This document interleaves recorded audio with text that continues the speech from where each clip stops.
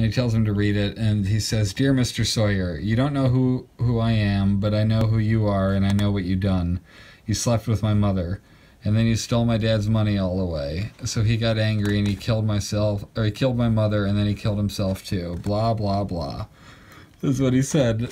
And uh so he ran he says um he so what you took my name on some sort of revenge kick? And he's like i ran that con two dozen times. I don't even know if your mom blah blah blah. And he goes her name was mary. And he's like oh mary from jasper. I remember her. Terrible. um uh, she practically begged me to take her 38000 and rescue her from her sorry life. And he tells him to finish the note.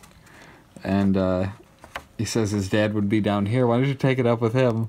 Can you please read that to me? Dear Mrs. Sawyer, I you don't know I I am, but I know who.